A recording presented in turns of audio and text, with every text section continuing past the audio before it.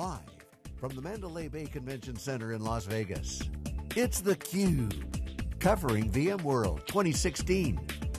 Brought to you by VMware and its ecosystem sponsors. Now here's your host, Stu Miniman.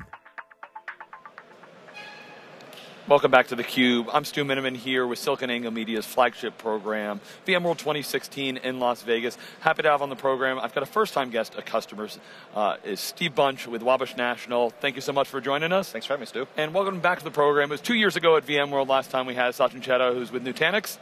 Oh, great to be back here. All right, so so Steve, let, let, us start with you. Tell us about kind of your role at Wabash, and for audience that, that's not familiar with the organization, just you know, real brief thumbnail of the company. Yeah, so Wabash National's based out of Lafayette, Indiana. Um, we're the leading semi-trailer manufacturer in the United States. We've got manufacturing in five other five other states than Indiana, um, as well as Mexico and the UK.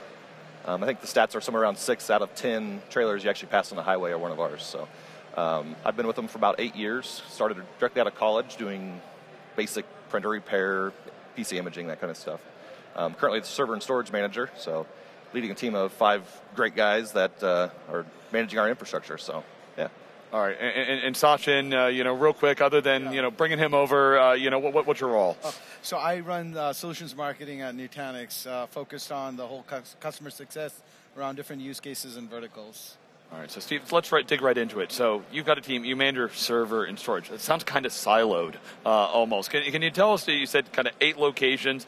G give us kind of thumbnail as to, you know, number of employees, you said, I think eight eight sites. You know, what is, what's your IT look like and the size of the team? So I think if you actually gave me my real title, it would be too long for uh, anything to be useful. So so, um, so we've so, converged. It. Yes, sorry, hyper, hyper converged that. So um, pretty siloed into servers and storage, but we also handle all the applications and stuff on top of the servers. So um, nine data centers. So it's it's interesting trying to bring all this stuff back home. Um, most of our manufacturing sites will probably always have some kind of server and storage footprint on that, on site. So okay, yeah, and, and you've been there for a number of years. You've been there longer than Nutanix has existed at a company. So why, why, don't you walk us through kind of that journey as to you know what your infrastructure has looked like and what was going on in the business that made you you know look at making a change? Okay. Um, so our environment's before Nutanix was super complex. We had uh, highly available sites, but different storage on each side and different servers on each side, different SAN switches. It was just overly complex for what it was. Um, the business was growing very quickly, mostly through acquisition, but most of just by selling more trailers. So um, the IT, IT team wasn't growing at all. So I had to find we had to find a way to kind of do something different. Maybe updating firmware on a SAN on the weekend probably isn't the best use of your time. So yeah. Um, we did some research, found some hyper hyperconverged. Maybe maybe this will work for our environment. So and, um, and when when was that? Uh, so we actually bought our first stuff in de- December last year but uh, I've been on the radar for about the last year. Yeah. yeah. So, so, so, Sachin, let me ask you. Let me see. Um, IT a little complicated. Teams not growing. Uh, throwing M and A. Uh, each yeah. application has its own little silo of what they're doing. Th- yeah. that's not what we've seen out there for you know how how long? yeah, forever and ever. And that's that's actually a great point, right? Businesses are now relying on IT for actually as an enabler for some of these functions, right? Whether it's business growth, digital transformation, or even M&A from that perspective, it's actually a key differentiator for the, from a strategy perspective. All right. So, so, so Steve, was this a you know project-based deployment? Was it you know new data center upgrade? What what did that first uh, uh, piece look like, and and who championed uh, you know moving to a hyper-converged option?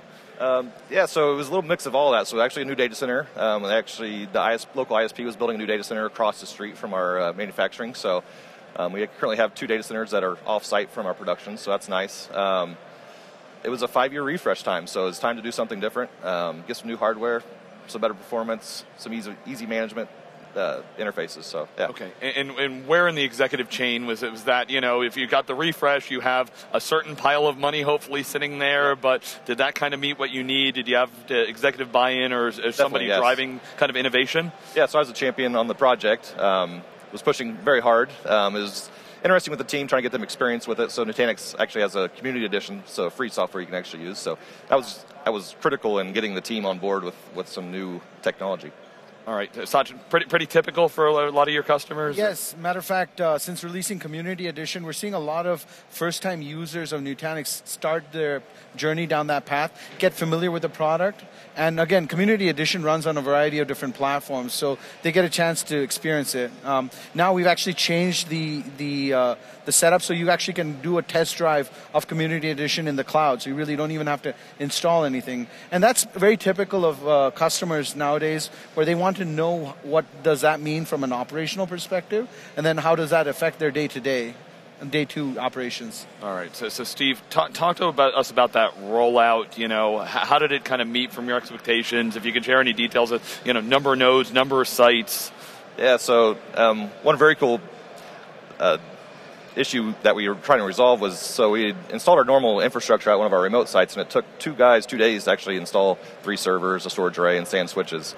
Um, so our first purchase of Nutanix was two three node clusters that we set up in Metro Cluster, and we had that set up in two hours. Um, so two different sites, Metro clustering, so we could vMotion VMs between the two in two hours. Just okay. crazy. And, and, and want you to comment on have you have you added to that uh, since, since, since, you've done uh, the, the, kind of the, the, the four letter word in the storage industry has been you know migration yes. uh, for, for, for, so long. Yeah. It, it, it, tell us what your experience has so, been. Yeah, we're 100% virtualized on VMware, so it's not difficult. Um, we purchased 16 more nodes, so we're expanding both both sides of that, uh, mainly at our main data center or main corporation corporate headquarters. So. Um, just doing basic store, shared nothing storage vMotions, and it, it's working really well. So oh, trivial, real easy yes, now. It is. It's, it's just like you know, yeah. when you think back to the way you were doing things before, you know, what's that mean for your business? It, it, it saves us a ton amount of time. I mean, um, I think some executive staff was worried that we weren't prepared because we were talking so. It's so easy. Just right click. It's like copying a Word document. So it took some uh, talking with the management teams to get them on board with what we were doing and explaining it how it works and um, they wanted to see big project plans and all that stuff. And I'm just migrating VMs, so it's not difficult. All right, so you freed up all that time. So I'm sure you cut staff and did that, or are there right. new projects that they're doing? What, what, what working, happen? Yeah, they're just not working 80 hours a week anymore, so it's all good stuff. Um, Wabash is actually we're we were just kind of a, an IT service to the business before, so we were just, yeah, like we said, setting up printers, setting up new servers, that kind of stuff. But now we're actually doing some cool stuff with business analytics and pulling in data from uh, PLC machines on the floor and actually putting some sensors on a, on a test trailer, so doing humidity and vibrations and stuff like that. Yeah, so, so, so, so Sachin, I'm curious, kind of the, the mindset of IT so much is, right. you know, I need to control it, and I need to understand it. Risk is right. a big thing. I was listening to a podcast that John Troyer did with a couple of your customers, right. and there was this guy, he's like, kind of flippy, he's like, ah, you know, remotely, I go on my, uh, you know, mobile device, I, I, say I do the upgrade, I yeah. get on a plane, yes. and when I've landed, you know, everything's fine. And I talk to most IT guys, and they're like, you know, he's crazy. you know, yeah, yeah. but you know, what, what are you seeing with your customers, and yeah. you know, how, do they change uh, and adopt that? I mean, the whole the whole concept of day two operations has changes with Nutanix, and and you've heard us talk about this uh, at .next, and even even before that, that we have this whole concept of invisible infrastructure. Our whole goal is to make infrastructure so easy to manage that it is almost invisible from uh, from an operational perspective. Now, coming back to the comment around the upgrades, the whole non-disruptive upgrade model is something that we've been very proud of. Uh, we introduced it a while back, and we've had a lot of customers actually go out and, and try upgrades uh, on their, their test systems using, again, you know, mobile devices, etc. But the whole point is that it's given them time back in their day and ta- to tackle either take time uh, that they can actually go and apply elsewhere, or even give them time back in the day that they were initially not intending to spend on it. Uh, so from an upgrade perspective, the ability to get new features in a very quick fashion, and then ability to remove the whole planned downtime concept has been great. All right, so so Steve, I, I wanted to just kind of step back a little bit, give us kind of a wider view of your IT, because it doesn't sound like today Nutanix isn't the whole environment. You haven't, you know, swept the floor with it.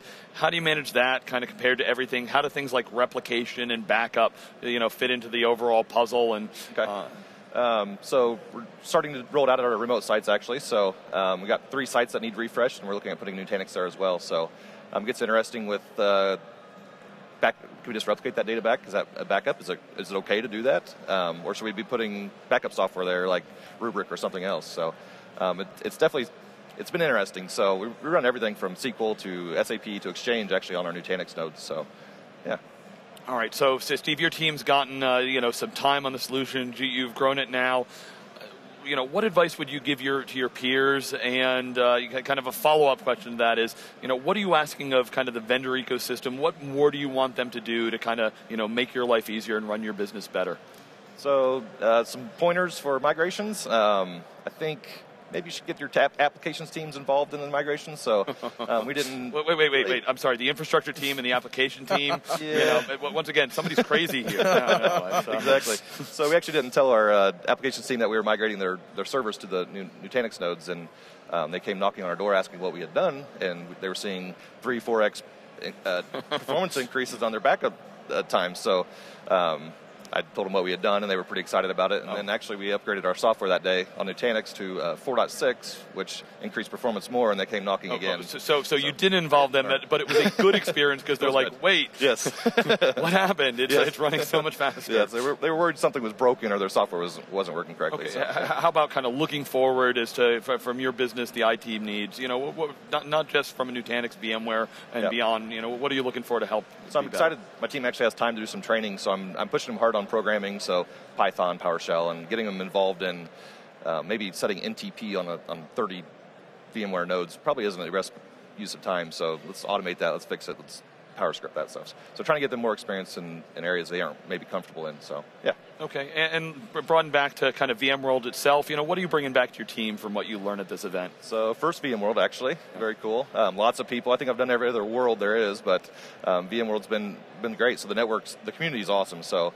um, everything from vBrownBag to uh, just sitting next to somebody and eating a, a lunch and learning something more from them than you would have maybe a breakout session. Yeah, bumping so. into people at parties and stuff like that too. uh, no, we don't do that. yeah. exactly. Wait, they, they, they, do have parties as part of the community. Yeah, you, talk all night, everything. Sachin, uh, yeah. give you the final word. Yes. Uh, so kind of takeaways uh, from, from VMworld that you're seeing, yeah. especially from the customer viewpoint that you've yeah. So I'm, I'm, you know, I'm always excited to be at VMworld because you get a chance to really interact with so many of our customers and, and the community in general.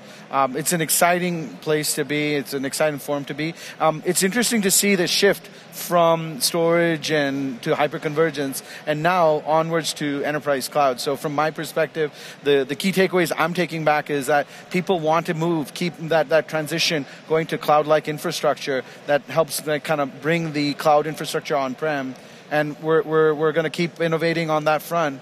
Um, and, and if I were to also summarize one other thing here, I mean, it's great to have customers like Steve who are looking at the whole IT as an enabler for their digital transformation. So I encourage again all our, all our your viewers to look at IT at, from that perspective. Yeah. So you know, my seventh year at VMworld, it's always great. It's you know the the VMware customers that are here are ones that have you know c- continue to innovate uh, not only when they deployed virtualization, but uh, hopefully they, they don't become satisfied with what they've done. They keep moving forward, keep trying new technologies. And, and on the storage piece, uh, we kind of half jokingly came in said this used to be called storage world, trying to make it invisible and trying to make it look more like a cloud. Maybe we should make it storage-less uh, going forward, uh, kind of like in the cloud they are talking about serverless. So uh, lots of great stuff here at the event. Thank you both uh, for joining us. Uh, we'll be back with lots more coverage here from VMworld 2016.